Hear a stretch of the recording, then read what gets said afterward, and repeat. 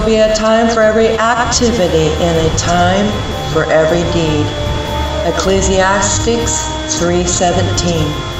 Jesus is the way to heaven.